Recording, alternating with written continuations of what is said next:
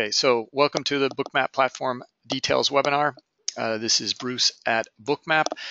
Uh, risk disclaimer, trading equities and futures involves substantial risk of loss and is not suitable for all investors. Past performance is not necessarily indicative of future results. For more information, go to bookmap.com. There is a free trial for 14 days. Uh, it comes with education. Uh, so not only do you get the software, but you also get access to the advanced order flow webinars, you get the bookmap education course, and there's some other resources as well. Uh, reach out to us at support at bookmap.com with any questions. Let me show you where you can find bookmap. Uh, bookmap.com here, let's click on explore. Uh, from the about page here, you can see there's an intro video. It's just a, a minute long or, or so uh, watch this just to get an understanding of what bookmap is. Uh, and then let's just scroll down here. Uh, just goes about, it goes through the uh, bookmap um, uh, benefits. You can click here for the free webinar, which is this webinar right now. And um, other benefits here, you can see testimonials, uh, and then Bookmap for uh, for equities here. So if you uh, if you trade U.S. equities, you get Nasdaq Total View. Okay, um, it's an excellent data feed. So um, uh, we can look at some equities if you want. Just uh, let me know. Uh, connectivity. You know, you will need um, a data provider. Uh, we are a software platform. Uh, we don't provide the data. Okay, so to connect Bookmap to the live markets, you will need one of these data providers. Okay, or or go through your broker like Stage Five here uh, and and be able to connect. All right, a bit further down, the pricing information. Okay, this is where you can give the uh, uh, free trial uh, a try. The uh, There's Bookmap Basic, it's 49 per month, 14-day uh, trial period. Then the Bookmap Advanced and Bookmap Quant, Quant versions, they're, they're not really different versions, they're just more features. Okay, and you'll pay for those features. So for example, the ability to trade right from the chart. Uh, this is a, a, really nice benefit because we have the liquidity heat map in front of us. So we can really uh, optimize our, our uh, entries and exits, uh, being able to trade right from the chart. Uh, there's these proprietary indicators that we put together as well. Okay, these look for um, the larger traders, for example, uh, something unique here, trying to find where the larger players are and how they're behaving uh, looking at order book imbalances and volume imbalances and an iceberg detector. So uh, we have an indicator that can uh, show you uh, where uh, iceberg orders or hidden orders are um, uh, starting to, they're accumulating. And then the correlation tracker as well. Okay, so quants, you might want to reach out to us here to learn more, connecting your own data, your own indicators, etc. Okay. All right. Uh, let's see here. You can follow us here on Twitter. Uh, bookmap or at bookmap underscore pro uh, is the handle. And uh, then you can subscribe to our YouTube channel here as well. Uh, there's a couple of intro videos for those of you who are new. Uh, you can watch the intro video playlist here. Um, and then the next step would be, if you're new, um, is to watch some of the features and components videos here. Uh, and then uh, work your way into some of these order flow video snippets uh, that you see here. Now, these just go through the um, uh, order flow phenomena. Now, there's a distinction between these two um, playlists. Uh, the features and components are is really the kind of nuts and bolts of, uh, of Bookmap, how you access or how you use some of the features. Order flow video snippets is understanding the order flow phenomena that Bookmap uncovers right? So this is more like the advanced webinars uh, and we get into really uh, fine details of the order flow so that you understand what Bookmap is displaying uh, and then how to use it, all right? Okay, so that's that. Uh, let's take a look at the markets. Uh, we will look at the NASDAQ today. There's a lot of news coming out um, uh, later this week. So um, text still is the one that is moving, uh, is even starting to move the S&P some. So um, we'll take a look at, uh, at the NASDAQ looking for some movement here. Uh, and then um, let's zoom out here. Now, the reason being is um, well, we can see the 930 open here, and this is the pre-market data. You can see we're just going sideways, and then we see the dramatic move to the downside pretty quickly, uh, and then a move right back up to where we dropped from, and then uh, continuation to the downside. Okay, so um, now what are we looking at here in Bookmap? Uh, it's um, market data that uh, it's, it's really pretty basic uh, and simple. It looks like it's really complex here. It's not. Uh, in fact, we, we do have an indicator panel uh, here, as you can see, but um, uh, Bookmap is not an indicator. Uh, it's, it's a really clear and objective view of the marketplace. Uh, about as transparent as, as I've seen uh, out there that uh, you're really getting all the market data here. Okay, so uh, all we're showing are three different items here. Best bid and offer, okay, the historical best bid and offer. Uh, there's no candlesticks. A candlestick is even more complex than what you're looking at here in terms of concept. Uh, we're just showing market data. But what we're able to extrapolate from that data is really insightful uh, because we're giving a lot of transparency here. Uh, and you'll see as we continue on in the presentation. Okay, so historical best bid and offer, and then all of these dots that you see here. Uh, the, these are transactions, okay? It's the volume that traded on the historical best bid and offer. And uh, we'll get into uh, exactly what uh, we're displaying here in just a moment.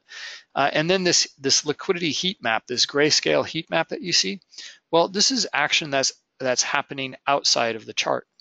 Uh, it's the, the limit order book that's historically recorded.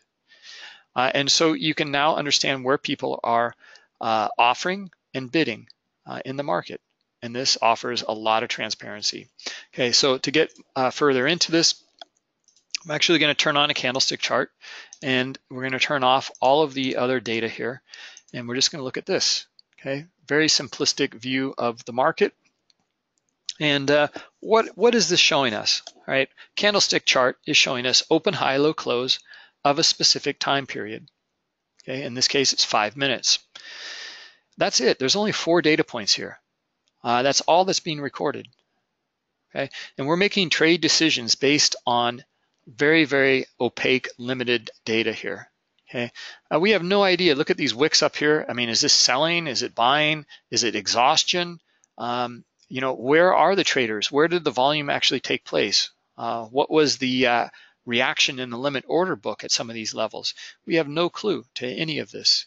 Okay, there's microstructural detail in here that gives us tremendous insight to uh, the uh, potential movement uh, of um, of price, uh, and we don't get any of that information here. Okay, so I'm going to turn on the historical best bid and offer, and that will immediately give us that microstructural detail that we're missing. Okay, so for example, uh, what um, what occurred down in this area here before we came back up and retested? All right, well, let's click on this move tool, hover over this area, and then I'm going to zoom in really quickly with my center mouse wheel. You don't need to use the zoom tools here that you see. Uh, you can just use your center mouse wheel. All right. Okay, well, uh, yeah, pretty interesting stuff. Um, we can see the uh, move down uh, and uh, a little bit of consolidation and look at these areas here. I mean, it's, it definitely has a slant to the downside because we're making uh, lower highs and mm, not making lower lows really. Uh, it's just kind of just going sideways here. And then we see a break, okay? A break of this structure. Okay, we get a retest back up to where we broke from, and then we get another little consolidation area here, and it's broken again. Right now, we get down into this area here, we broke down below, and uh, there's going to be sellers down here. They're they're going to be trapped, okay, because they're they're going to be um, uh, selling the breakdown, and um, uh, you know the, their their position is going to be uh, somewhere you know in this area here, and they're going to feel the pain as price is moving back up. Uh, and um, and where do we go? we go back up to where we opened here in the cash session.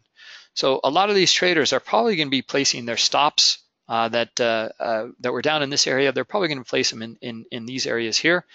Um, and uh, if they're uh, uh, have a little bit deeper pockets, they're going to place them up by the um, open. Okay, so and we can see that we we came up and tested that area. Right, so this is a pretty quick move to the upside. This quick move here is pretty indicative of a short squeeze. All right, and now we're starting to understand all of this though, just by looking at historical best bid and offer. Okay, look at the candlesticks. Okay, let's turn off historical best bid and offer for just a moment. Okay, I, am not getting really any of that information here uh, from this candlestick chart. Uh, I have no idea if there's more sellers here or buyers in this area. Uh, it's just, uh, it's not really giving me much information at all. Okay, I have no idea that some of this structure was broken and that they're trapped.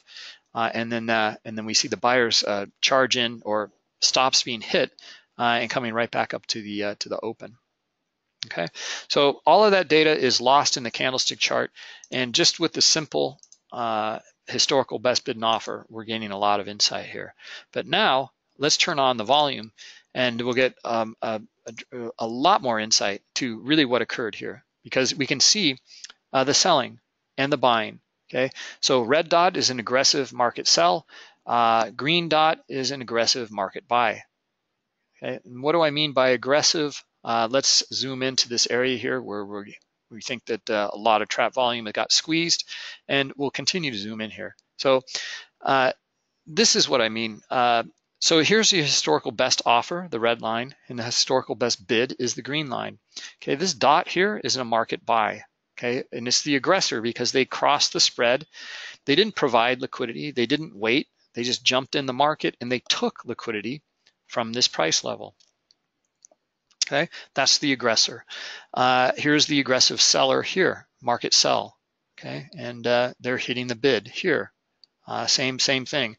And uh, look at this phenomena here that we see. This is uh, something that we cover uh, in the advanced order flow webinars. This is called a sweep of the limit order book. Okay, so as we came up here, there's a little bit of selling in here. Okay, you can see the little red dots here, but what really occurred here uh, is um, uh, these buyers, these aggressive buyers here, they took all of the liquidity from one price level, moved up to the next, they took that, it came up to the next level and they took all of that and they just pulled the market up. They lifted the offer, okay, up out of this little range here. And this is very microstructural range, but uh, nonetheless, it's holding true. And look where we accept above that little range here. This is what I talked about in terms of the trapped volume. Okay. All right, and we can see uh, a shift in that order flow right in this area here. Okay, look at the selling here. The uh, now this pie pie display pie chart. What is this showing us? It's giving us the overall uh, volume. Okay, what the delta is. So about you know three quarters of this is selling, and about a quarter of it is buying. Okay, we can use this uh, data tip tool, hover over that, and and we can see exactly what uh, occurred here. We have all the market data here. We have the date, the time. Okay, the time is also down to the uh, millisecond in this uh, in this case. You can see the liquidity here on the bid, uh, and um, and then the volume that traded here. Okay, so 598 contracts traded here at this price level of 62.38 and uh, 0.805. Now this is why is it 0.80518 uh, 395? It's because it's giving you we're giving you the VWAP of this of this big uh, dot here. Okay, so let's zoom into this dot, and you'll note how we're pulling apart all of that trading activity, and we're showing you exactly what occurred here. Okay, and we'll continue to zoom in here, and you'll note how we have every single market event that took place. Okay, and uh, now uh, we're looking at um, microsecond level. Okay? And what this is giving us is information to how these markets actually trade. Okay, so uh, we can see that 22 actually traded here, 22 contracts, all, all in all. Okay, uh, and uh, if we can continue to zoom in, uh, we can see each dot and what it represents as a uh, as a transaction. Algorithmically, this is how the markets trade. Uh, they break up the size and then they they trade in little clusters like this. Okay, look at the spacing uh, and look at uh, you know how uh, mechanical this is. Okay, so we have a, a, very clear understanding. This is an algorithm that's hitting the bid. Okay, so now as we zoom out, okay, and I compress the timeline, and now we're down at millisecond level, so thousands of seconds, not uh, millions of seconds, uh, and we've uh, consolidated or aggregated that just visually or graphically into a bigger dot. Okay, so volume of 22. Okay, if you want the information on exactly what occurred, just zoom right back in. Okay, it's all, all it's all there. All that market data is there. Okay, we can also see a little bit of a um, uh, a lag here in uh, the uh, trade data versus the quotes data. And why is that? Right? Well, they come. They this is just how these markets operate. Uh, this uh, trade data uh, came in via a different protocol compared to the quotes data. And there's a distinction between the two. Okay, there's a little bit of lag here. Okay, we can see it over here as well. Okay, it happened so quickly uh, that the uh, uh, there was a little bit of lag in the in the between the two different protocols that came into into the into Bookmap. Okay, now that comes from the data provider. Uh, it's not we just plot the data, so you know, it's uh, you can start to understand that a good data provider, uh, if you're trading at you know really low time frames, is going to be important for you. Okay. Now, as I zoom back out, look at this phenomena here. Okay. Same phenomena that we just witnessed before. Okay, a sweep of the limit order book. Okay, and look at the retest here. Okay, right back to where we broke from, and we continue to the downside. Okay, so this is the microstructural areas that I'm talking about and the insight we're getting with the volume. Okay, you're not even going to be able to see this and, and make these, these distinctions in this microstructure to how uh, price is actually trending nicely in this microstructure to the downside. You're not even going to see this in the uh, uh, footprint chart. It's going to record, um, you know, the the uh, actual um, uh, number of contracts that traded and it's going to give you a number. Uh, but uh, that figure is going to be aggregated within a, a candlestick time or a bar rotation. Okay, you won't see the, the, the fine details of the structure and the break, and then how we can see here that structure we see a change. Okay, we actually see another one here, but this this one uh, this one failed. The sellers came right back in and pushed it lower. This one did not fail, right? And we see the move to the upside. Okay, anyway, uh, that's the traded volume. Uh, that's the insight that you get uh, with the uh, structure and the volume, right? And uh, now let's uh, zoom out and come back to the current market. And now what do we, what else do we want to know here? Okay, looking at the um, the traded volume is important okay? And understanding where it took place within these candlesticks. For example, look at this nice cluster up here. Uh, this is exactly where all this volume traded on this in within this five minute period. Okay, so looking at more volume at a higher area here, we continue to the upside. Okay, uh, they hit the hit the bid pretty hard here, and we're below again a microstructure. Okay, this structure here. All right, so you can see this is fractal as well as we zoom out. Uh, and uh, these little breaks of structure happen all the time. It's how you how we trade to new levels, and we're, we're one is occurring right now. Let's see if we can get maybe up above this swing uh, at uh, 62.41 and a half. Okay, that's the the target here. Now, why is this a target? Well, there's going to be some stops that are probably up in this area, but we really want to know um, the this information in the limit order book. Okay, and this is the DOM or your depth of market here in Bookmap. Okay, your current order book uh, column here.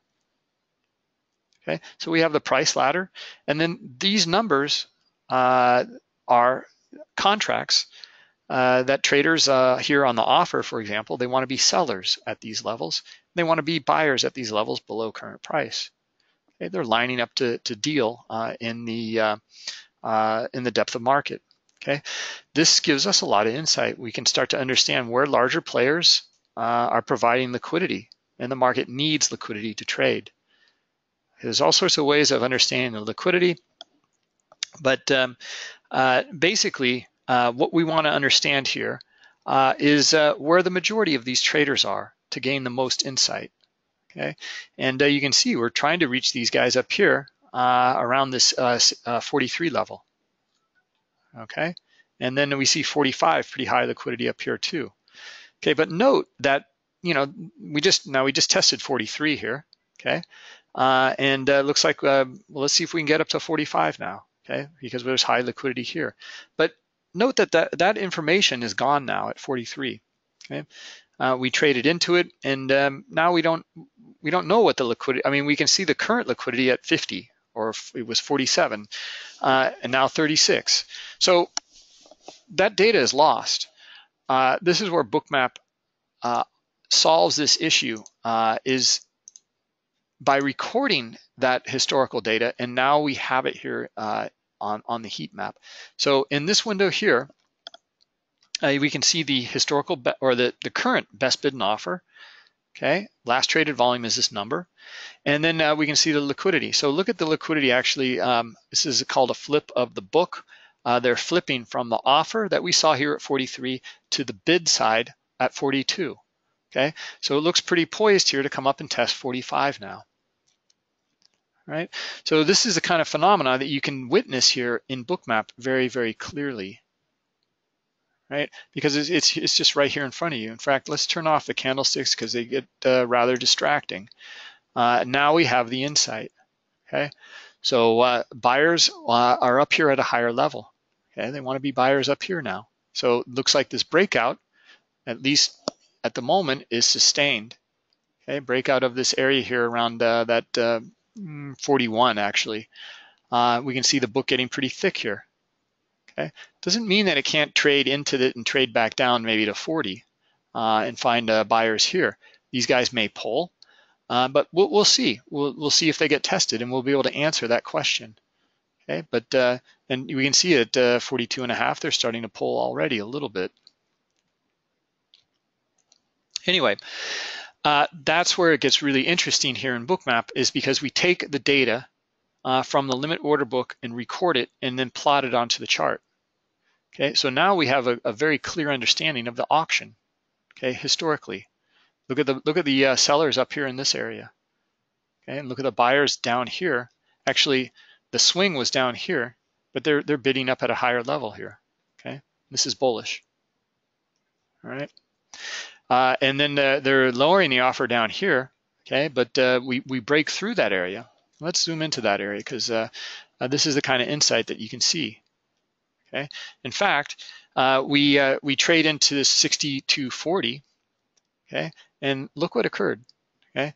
We can see that they stayed in the book. This is real liquidity. We can make a distinction and we can give a lot of value to your limit order book because we can see that it traded. Okay, we know that. This is fact. Right? So a lot of traders will say, well, I look at the limit order book, but uh, I don't really follow it because um, a lot of it's fake. Well, this is real. And we just made the distinction between what is real and what is fake. What about these guys up here at 41? This is fake. They pulled. Okay, price came up here and they pulled. All right, we can also start to understand these players at these levels because they pulled here and then we see it get bright up above here in some of these areas. So they're pulling from 41 and adding up here at 42. All right. So now, now we have all of this data in front of us and we can start to see and understand uh, how these uh, larger players are starting to position themselves. Anyway, that's just uh, one of the insights. Uh, and um, all right, so uh, let's see, we came up to our 45 area. Okay, that's what we were, uh, were looking for. Uh, we got it. Now the higher liquidity is up here at uh, between 46 and 47. All right. So you can see how liquidity and volume uh, interact uh, with each other and uh, how the market needs that liquidity to trade. Okay, and we can start to make the distinction between that liquidity that is real and that liquidity that is fake uh, and that offers a lot of transparency and insight to making much more informed trading decisions here. All right. All right, guys. Well, uh, let's uh, let's call it a day. And uh, for those of you who, uh, it's great to see you in here. That a, a lot of you guys are now um, uh, coming to both webinars here, and that, that's that's fantastic. so the we go through the bookmap basics and and answer any of the platform questions that you guys have. Uh, and um, uh, then uh, we go into detail in the next webinar, okay? And really get into understanding the order flow. And then we start to anticipate price movement, okay? Just like we anticipated this move into 45, okay? Uh, or the test of 43 and then the move up into 45, okay? Uh, so anyway, uh, let's we'll wrap it up and then we'll see you in the next one. Okay, thanks guys.